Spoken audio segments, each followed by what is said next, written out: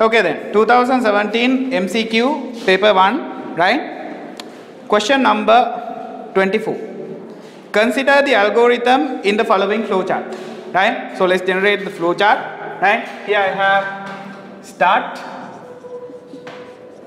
then I move into input x, y, then I have a decision, right? Is x greater less than y question right? When this is yes right? Is that equals y? Then y equals x.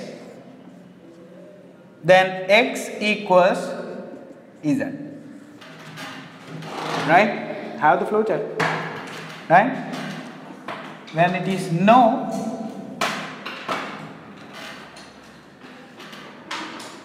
display x y z.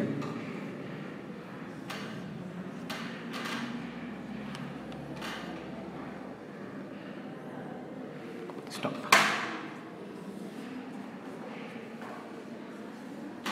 Now the question seem to be complex, isn't it? Right? So what this flowchart says, right? In the start, you are requested to give input, right? Input x and input y, right? X and y are variables to hold inputs, okay? And next thing, this program is taking an if, right? A decision. In the decision, you have this statement, right? X less than y. Only when x is less than y, these actions will happen or else, right, straight away this action will happen.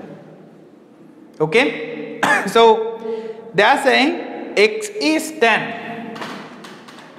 The value they are entering as x is 10, right. The value they are entering as y is 20 right. So, what values will be displayed for x, y respectively are no z, right?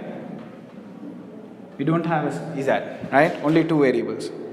So, in the last answer you don't have anything as z, okay? So, what values will be displayed for x and y respectively if the inputs are x equals 10 and y equals 20 for the given flowchart, okay? Right?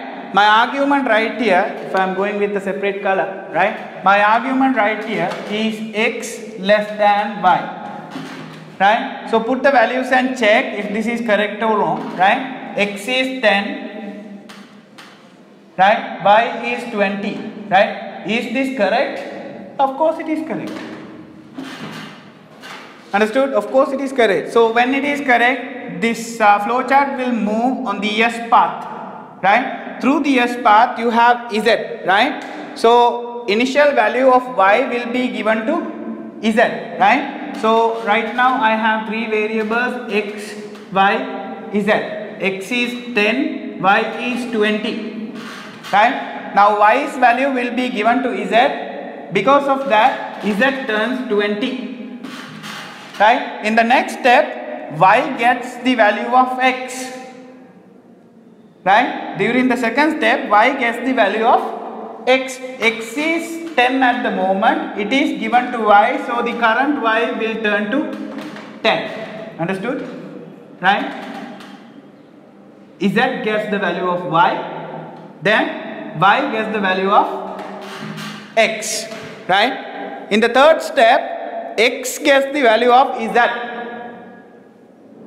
Right so x is getting the value of z which is 20. Okay. Now they are saying display x and y. As x they have to say 20. As y they have to say 10. Right. 20 and 10 in the correct order. Third answer. Right. Third answer. Have the answer. Right. This is the way you are kind of you know cracking the case. Right right here you have to check the logic right? Comparison. First of all, check the comparison, right? With the values and check if it is correct or wrong. If the comparison is correct, go along with that path and do the relevant actions step by step in a tabulated method like this. That would be easy. Okay. So what I did, I took the initial values of x and y. Then I assigned y's value to z which turned y- z into 20. Right. Then y gets the value of x. So x turns to 10. And x gets the value of z. Right. It was turned to 20 and now that value goes to x. Now the current value of x is 20 not 10 okay so the correct order they are saying x and y so x value is 20 that should be the first value and second value should be y's value which is 10 understood? Easy? Yes